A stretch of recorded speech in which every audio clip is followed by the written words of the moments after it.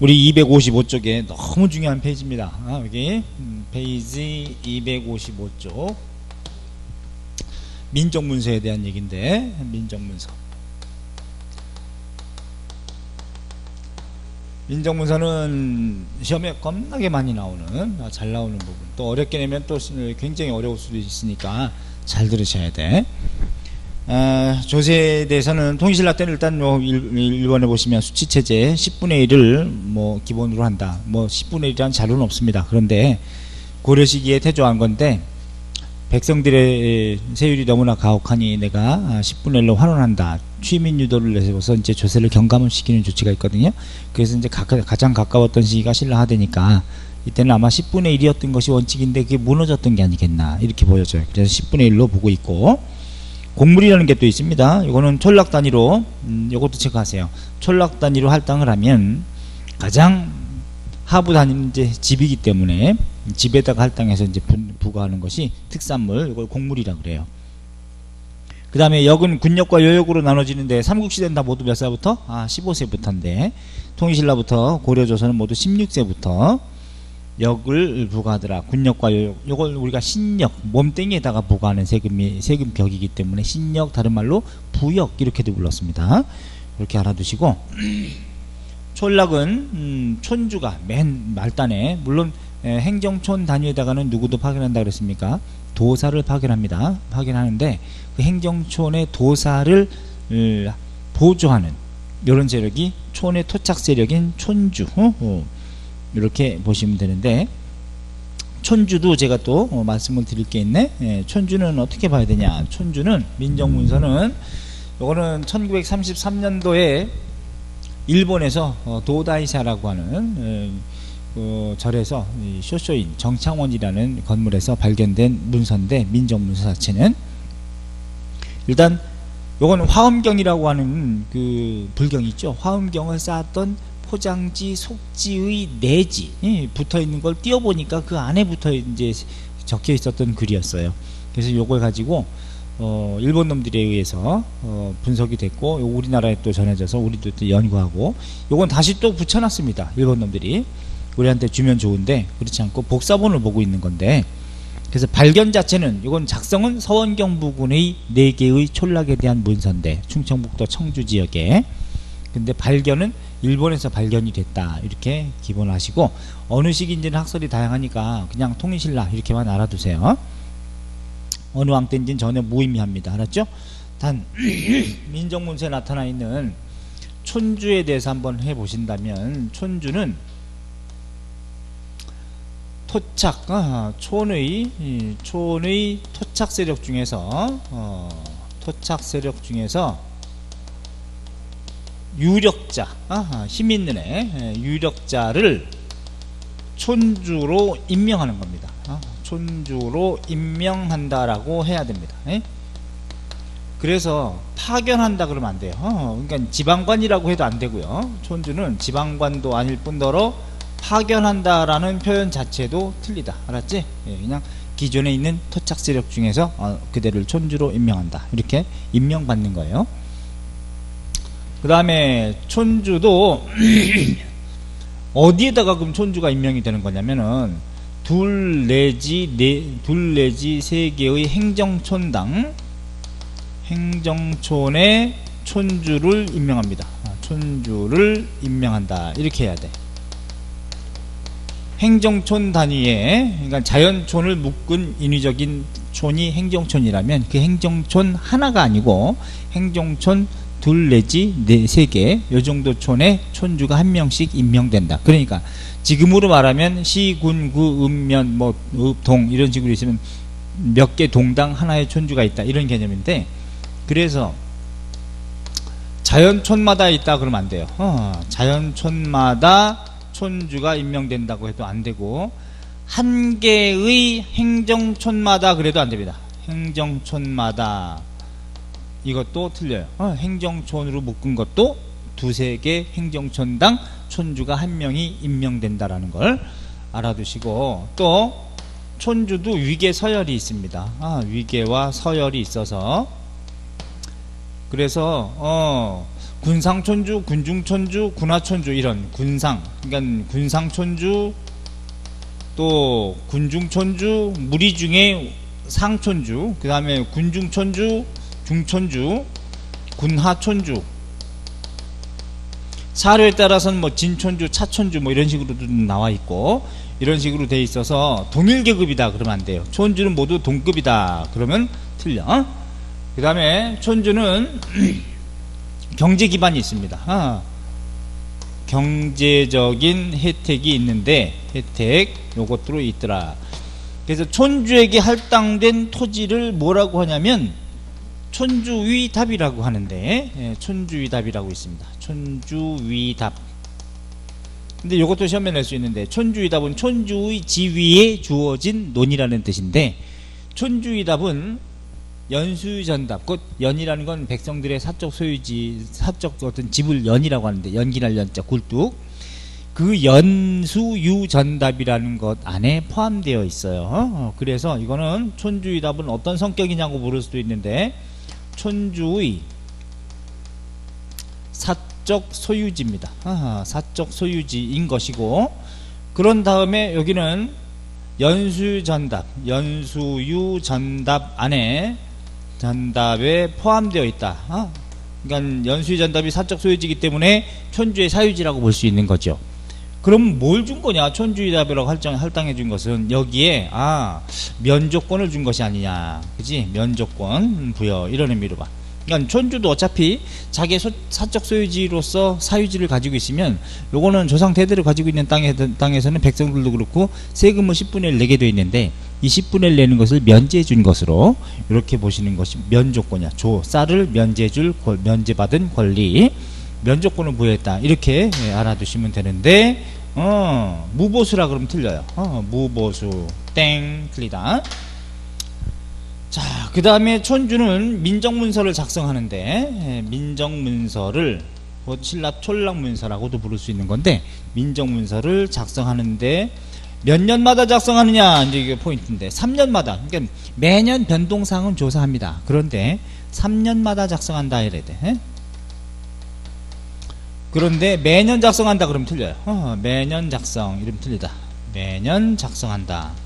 이러면 적절하지 않다.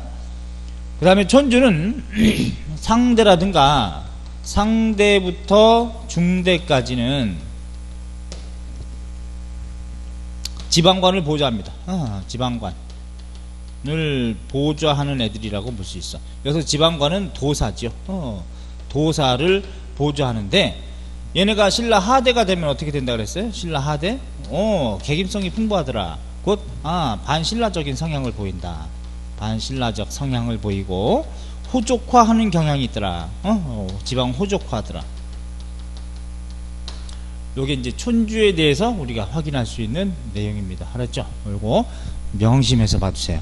자, 그럼 이제 민정문서 보시면 포인트가 되는 것은 작성 촌주가 3년마다 작성한다 작성한다는 거 이렇게 알아두세요. 3년마다 3번 있죠? 아주 중요해. 그 다음에 음, 이건 뭐, 뭐 때문에 작성하는 거냐? 세금 걷기 위한 겁니다. 조세를, 조, 어, 조세를 수취하기 위한 목적이다. 이렇게 봐두시고. 그 다음 여기에 기록되어 있는 게 6번 체크해야 돼. 인구를, 어, 여섯 등급으로 어, 하더라. 그래서 여기서 민정문서의 내용에 보면, 민정문서의 내용에 뭐가 아, 있느냐. 내용. 아주 중요하죠. 어, 내용에. 첫째. 인구의 수가 있다. 그지? 인구수도 있고, 이 인구수는, 음, 노비를 포함하는 겁니다. 어, 노비를 다 포함한, 포함. 근데 노비는 한 5%대 밖에 되지 않아요. 어, 전락당 5%대 정도밖에 되지 않기 때문에 많지는 않다. 이렇게 보시고, 인구수도 포함하고 있고, 또 인구 증감의 변동상, 이것도 있습니다. 인구 3년마다 얼마나 증감했는지 증감의 변동사항도 있어요. 어, 이것도 있어. 인구수, 인구 변동사항도 있다. 근데 인구는 잘 보시면 아, 성별, 연령별 여섯 등급으로 나눕니다. 아, 성별, 성별이라는 건 남녀별이라고 할 수 있겠죠. 어, 남녀별, 연령별, 연령별로 6등급 그 다음에 호별. 음, 호별, 호는 9등급으로 편지한다. 아, 9등급. 그래서 어떻게 때려? 아, 내가 호군이 이렇게 때리면 좋겠죠. 어, 호구. 근데 호를 나누는 기준은 뭔지는 애매해요. 어, 어, 기준이 뭐냐? 호를 나누는 기준. 예컨대 상상, 상중, 상하, 중상, 중중, 중하, 하상, 하중, 하하. 이렇게 이제 호는 아홉 등급으로 나누긴 했는데 그건 확실한데 그 나누는 기준이 뭐냐는 얘기죠. 인구는 성별, 연령별 여섯 등급으로 편제하되 이것도 확실하고 이건 확실합니다. 근데 기준이 예전에는 뭐라고 했냐면 아 토지를 토지의 다과에 따라서 이렇게 했었어요. 그런데 두 번째 아 인정 사람 수의 다과에 따라서 이렇게 예, 주장이 됐었었는데 그래서 인정의 다과에 따라서 9등급으로 토지의 다과에 따라 9등급으로 나눴다는 얘기는 일제 시기에 이렇게 그 일본 놈들이 이제 연구 결과로 했었고 그런데 예, 토지가 여기에 증감 변동 사항이 없어요. 하기 때문에 토지는 아닌 걸로 보이고 거의 결론이 그 다음에 인정의 다과에 따라서 최근에 이제 구분됐다고 이렇게 한 86년 이후부터 이렇게 주장됐다가 아 50년대 이렇게 주장됐다가 이것도 문제가 있는 게 인구가 전입 인구가 여기 확인됩니다. 그래서 전입 인구가 있는데 그 전입 인구가 있을 때 인구가 증가했잖아요. 근데 호의 등급이 올라가지 않습니다. 하기 때문에 어 이상하다. 이건 인정도 아닌 것 같단 말이죠. 어, 하기 때문에 그렇다면 뭐냐 이게 도대체 오늘날은 총체적인 자산이라고 봅니다. 아, 총체적인 자산에 따라서 여기는 뭐 인구도 들어갈 수 있겠고 우마도 들어갈 수 있겠고 여러 가지 기타 그 집에서 가지고 있는 총체적인 자산에 따라서 아홉 등급으로 나눈 게 아닌가 아, 이렇게 예, 구분할 수 있어요. 요즘 이게 예, 많이 봐, 이제 지지받고 있는데 그래서 주변에 같은 시기에 율령국가 체제였던 일본이라든가 또는 당나라라든가 이런 나라들을 비교해 보니까 총체적인 자산이었습니다. 그러니까 서로 교류가 있었기 때문에 아마 아 여기도 총체적인 자산이었을 가능성이 크지만 어쨌든 여러분들은 뭐만 알면 되느냐 이것까지도 지금 많이 내지 못하니까 요건 확실히 이렇게 구분해서 냅니다. 인구는 아 성별 연령별 여섯 등급 호는 아 그냥 9등급으로만 알아두시면 돼 알았지 이건 논란의 여지가 있기 때문에 그래서 기존에는 다 이렇게 인정의 다과, 호진 토지의 다과 이렇게 돼 있었지만 요즘 새로운 연구 결과는 이제 요걸로 지지받고 있으니까 요거까지도 여러분한테는 뭐 물어보진 않을 거니까 그래서 요즘에 최근에는 공무원 시험 문제 내더라도 이건 현재 교수관이거든요. 어, 7급이나 9급은 그런 경우에는 호는 어, 그 기준을 얘기하지 않아요. 시험 문제 내더라도 그냥 호는 9등급 이렇게만 어, 얘기가 되니까 예전엔 또 그렇게 인정의 다과에 따라서 냈다고 한 적도 있습니다. 2007년 이후, 이후, 이후로 하더라도 근데 최근엔 그렇게 내지 않는다. 그래서 아 요렇게만 알아두시면 돼. 알았죠? 그 다음에 전입 인구, 전출 인구도 확인할 수 있다. 아, 전입, 전출 확인이 가능하다. 아, 확인이 가능합니다. 그래서 수좌내연이다 라고 해가지고 어, 수좌내연 연이라는 건 아까 집이라 그랬죠 들어와서 받아들여서 정주하고 있는 그런 음, 음, 연집 해가지고 이건 전입자를 수자네요. 전출인 경우에는 개인 단위도 그렇고 뭐 이거 전입 전출 모두 저 개인 단위도 전입 전출도 가능하고 호 단위로도 전입 전출이 가능했고 또한 음, 전입 전출할 때는 당연히 우마도 당연히 음, 따라가겠죠. 하기 때문에 우마의 진감도 당연히 있는 것이고 여기 이 남녀별 연령별 여섯 등급으로 나눌 때 이것도 연령은 몇 살부터 몇 살까지가 소자 또는 추자, 조자, 또 정 또는 제공, 노공 뭐 이런 식으로 구분되어 있는데 에, 그거는 나이 때는 여러분한테 묻지 않아요. 그러니까 아 이렇게 여섯 등급으로만 나눈다 이렇게 알아두시고 자, 그 중에서 남녀 중에서 누가 더 많으냐? 여자가 더 많습니다. 아, 남성하고 여성 중에서 남성, 여성 중에서 여성의 비율이 더 많다. 아, 왜 그러냐면 남자는 뭐 전쟁에 나가거나 또는 군대 가거나 토목공사 하거나 나가서 또 사고로 죽는 경우도 있고 못 돌아온 경우도 많기 때문에 여성의 비율이 더 많고 전체적으로 인구 비율은 일반적인 정, 어, 양인 농민들이 많지 노비는 음, 촌락당 분석해 보니까 5%대를 넘지 않습니다. 그러니까 초과 초과하지 않으니까 아, 일반 정이 훨씬 더 많았다 이렇게 알아두시면 되고 인구는 음, 인구 증감의 변동사항도 있다. 그 다음에 두 번째 우마의 수도 있습니다. 우마 소 말이에요. 우마의 수도 확인이 돼 있고 3년마다 3년 만에 우마 증감의 변동상 우마 증감의 변동사항도 확인이 돼요. 어? 그 다음에 세 번째 유실수의 수도 있고요. 유실수 유실수의 수. 여기서 유실수는 열매가 달려있는 나무지 그지? 호두나무 잣나무 뽕나무를 얘기합니다. 귀족의 수요품 그지? 호두나무 잣나무 뽕나무. 그 다음에 3년 만에 호두나무 잣나무 뽕나무가 얼만큼 증가하고 감소했는지 그 어, 내용도 있어. 유실수 증감의 변동사항도 확인이 된다 어? 그 다음에 네 번째 자 네 번째 여기다 적을게요 토지의 종류 있습니다 어? 토지의 종류가 있다. 어? 여기서 토지의 종류는 음, 첫째 연수유 전답이라는 게 있고 연수유 전답 이거는 백성의 사적 소유지 예, 백성의 사적 소유지 소유지 그 다음에 두 번째 촌주의 답 연수유 전답 안에 포함되어 있다 그랬습니다 촌주의 지위에 할당된 수조지로 보인다. 촌주의 사적 소유지, 촌주 소유지입니다. 소유지. 면조건이 설정된 것으로 보고 세 번째 내시령답 내시령답은 관료전이라고 볼 수 있는데 예, 관료전 중에 하나죠. 내시령이라는 관직자에게 줬기 때문에 관료전이라고 할 수 있는 건데 아, 네 결 정도밖에 주지 않았기 때문에 이런 경우는 아마도 하급 관리한테 줬던 것이다. 그러니까 신문왕 때 관료전 지급했다는 것은 바로 이런 하급 관리를 대상으로 준 토지 예, 이런 개념이다. 음, 요 관료전인데 아 국유지에다가 어, 어, 국유지에 설정된 토지로 볼 수 있겠고 왜냐하면 내실형답은 따로 있습니다. 연수전답과 따로 분리되어 있기 때문에 국유지에 설정된 수조지로 보고 그 다음에 네 번째 관모답이라고 있습니다. 아, 관모답. 관청 땅이에요. 어, 관청 땅. 관청 소유지겠죠. 그러니까 소유권상 공전인 거죠. 그죠?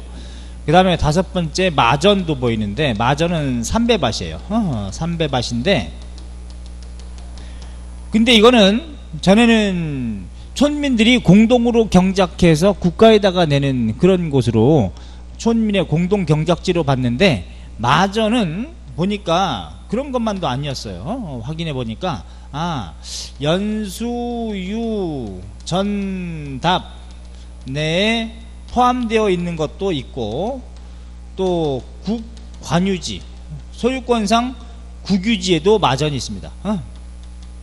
중에 중에도 어, 설정돼 있어요. 어? 어. 그러니까 둘 다 있는 겁니다. 그러니까 촌민들도 마전이 있는 것이고 그 다음에 국관유지에도 관유지 중에서도 마전이 있는 거예요. 이렇게 예, 보시되 단 유일하게 없는 게 뭐냐 이 토지에 3년마다 증감의 변동사항이 없어요. 토지 증감의 변동사항은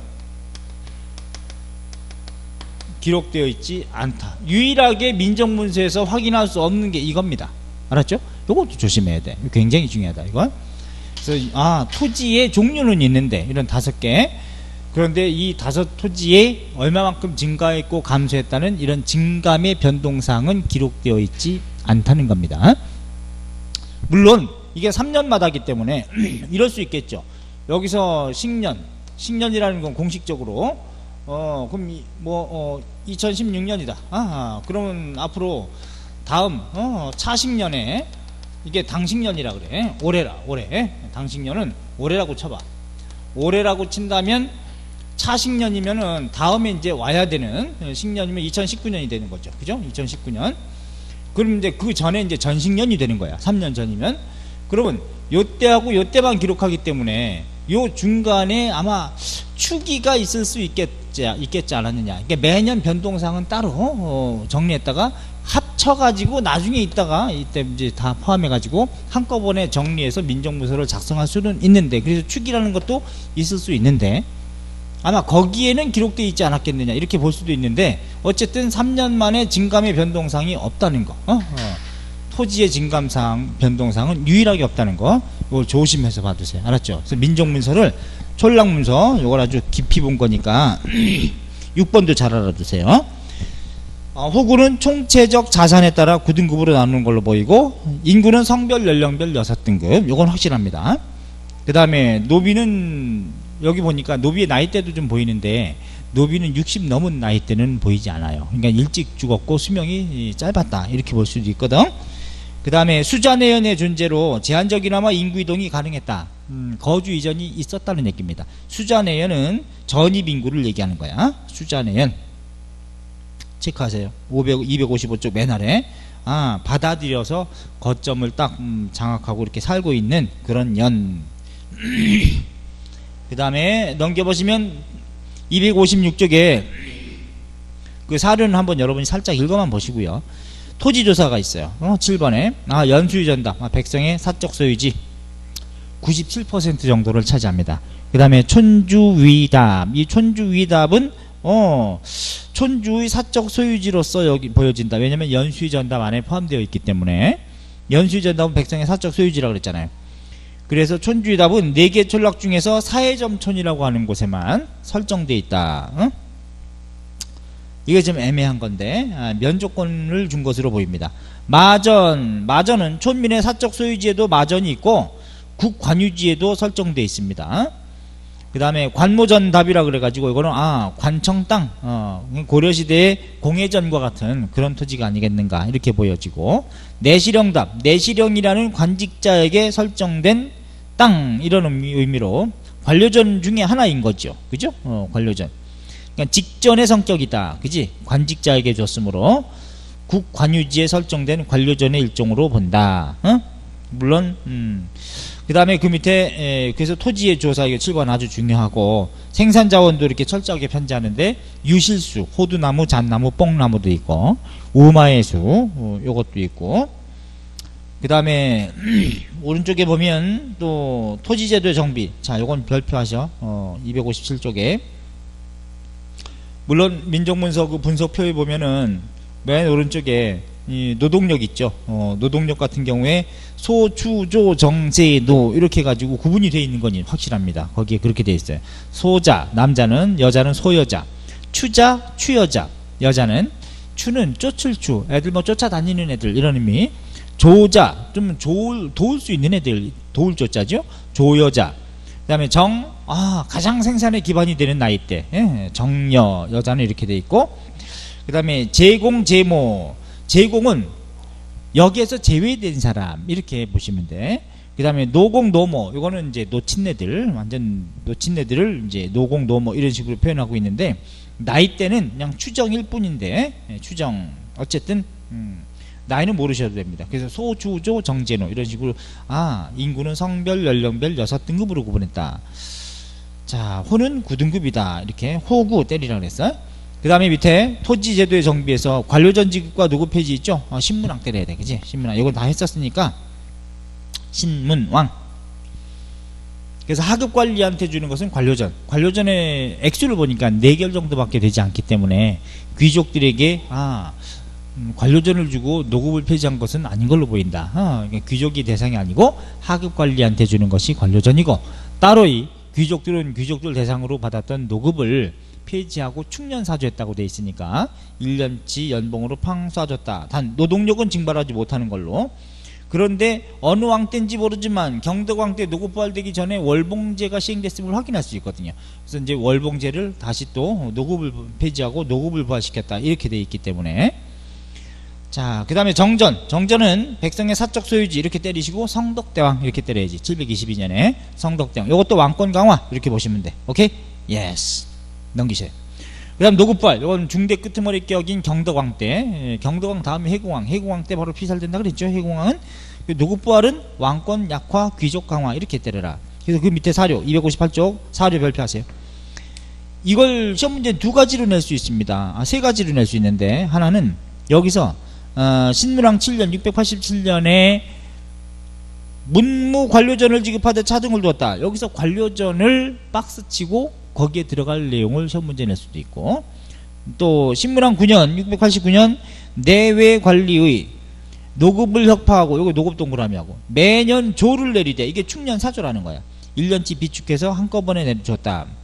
차등 있게 줬다. 라고 하는 거. 이걸 충년사조. 연봉 형식이다. 이렇게 보시면 돼. 단 노동력은 증발하지 못하는 걸로 하고 노급은 노동력까지 증발했었는데 그 다음에 성덕왕 21년 722년에 처음으로 백성에게 정전을 지급하였다. 그런 말 나오죠. 정전도 동그라미.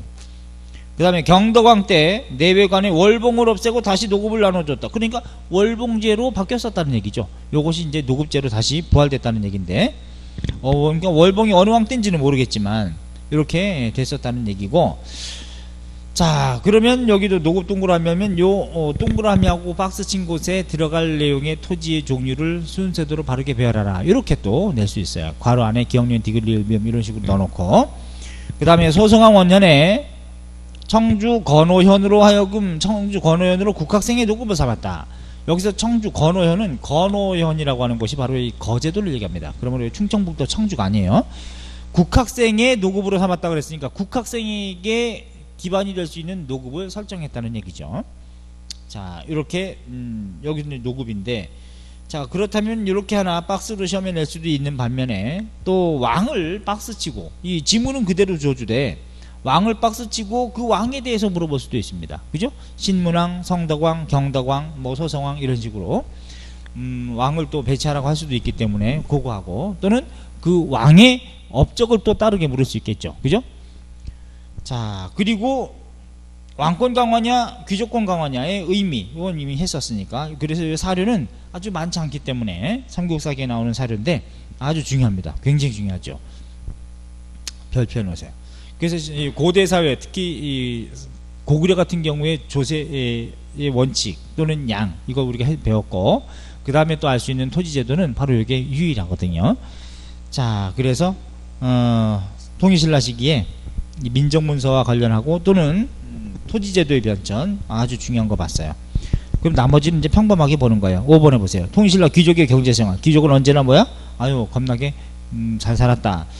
공신이나 왕족에게 주는 것은 시급 그 다음에 귀족 관료에게 주는 것은 노급 둘 다 노동력과 생산물을 다 수취할 수 있는 특권인데 시급이 노급보다 더 강제력은 강하다. 아, 이렇게 보실 수 있는데 시급은 조선 초 15세기까지도 여전히 보입니다. 고려 시기도 시급이 종종 보이고 조선 초기에까지도 시급이라는 표현은 보이기 때문에 음, 노급은 귀족 관료에게 주는데 아 노동력까지도 거둘 수 있는 거 이렇게 보시고. 그 다음에 통일로 겁나게 잘 살았다는 거지 뭐. 어, 토지, 노비, 목장 이런 거 섬 겁나게 소유하고. 귀족들의 향락 생활이 겁나게 또 심했다. 사절유택, 금입택 이런 게 있고 포석정, 안압지를 통해서 보더라도 우리가 안압지에서 발견된 것 중에 그런 게 있죠. 어, 주사위놀이 같은 거. 거기 보면은 나무를 이렇게 주사위처럼 돼가지고 떼굴떼굴 굴려가지고 어, 벌칙이 나오죠. 술 먹고 어, 떻게 놀았는지 우리가 확인할 수 있는데 야 노는 게 꼬라지가 우리랑 거의 비슷해. 흑기사도 있어. 흑기사. 아, 술 대신 먹어주기. 흑기사도 있고 그 다음에 콧등 때리기. 간지럼 펴는데 웃음 참기 이런 거. 그 다음에 코끼리 손하고 뺑뺑 돌기 이런 것들. 어, 야참 유치하기도 하고. 그 다음에 완샷 하기도 있습니다. 거기. 예, 완샷 하기. 이런 이제 벌칙 같은 게 예, 화려하게 있고. 그 다음에 이래서 사치가 심할 때 이런 사치 금지령을 내린 건 신라 하대 두고 아 흥덕왕 때 사치 금지령을 내렸다. 이것도 어, 했어요. 그 다음에 오른쪽에 259쪽에 보시면 사료 있죠? 맨 위에. 신라 귀족 생활. 재상가에는 녹이 끊이지 않았다. 노예가 3천명이고 비산수의 호위 군사 갑병. 어 갑옷 입은 병사가 예, 있고 그 다음에 소말 돼지가 있었는데 바다 가운데 섬에서 길러 필요할 때 활로 쏘아서 잡아먹었다. 곡식을 구워서 갚지 못하면 노비를 삼았. 아유 이렇게 부채 노비도 많고 이건 언제를 얘기하는 거예요? 아 신라 하대를 얘기하는구나. 귀족들의 생활상이다 이렇게 보시면 돼. 그리고 요거 시험에 좋은 종로 나왔습니다. 이 사료 자체가 알았죠? 귀족의 생활상. 어, 그럼 귀족들이 경제적 기반이 보다 조상 대대로 가지고 있는 토지도 있지만 그걸 민전이라고 했어. 그 다음에 노급이라는 것도 있고 또는 공신이 되면 시급이라고 하는 것도 설정되고 김유신은 통일전쟁의 공로로 500호를 시급으로 받았다. 그런 기록도 보이기 때문에 그 다음에 통신라시기의 농민의 경제생활. 농민들은 예나 지금이나 항상 어렵죠. 그죠? 토지 생산력. 자, 농경과 관련해 가지고 농경의 시작 신석기, 벼농사 시작 청동기 때렸고 우경의 보고 우경에 의한 심경법 요것은 삼국시기. 구체적으로 신라 같은 경우는 6세기 지승왕 때 우경에 의한 심경법을 보급시켰고 근데 여전히 고려시기만 하더라도 고려시기까지만 하더라도 휴경농법이 일반적이었습니다. 휴경농법이라는 건 지력이 받쳐주지 못하기 때문에 쉬게 하는 땅. 뭐 농경은 여러분이 저보다 더 박사지요. 그래서 아 농민들은 어려웠고 또 수치 체제를 보니까 거시기, 전세, 공물, 부역 이렇게 세 가지 3세가 있다. 체크 이거 했던 거야. 농민들은 항상 뭐 몰락하는 사람이 많고 부채너비도 많고 향부곡 어 이건 신라부터 고려시대 특히 신라에서 처음으로 만들어진 게 향부곡입니다.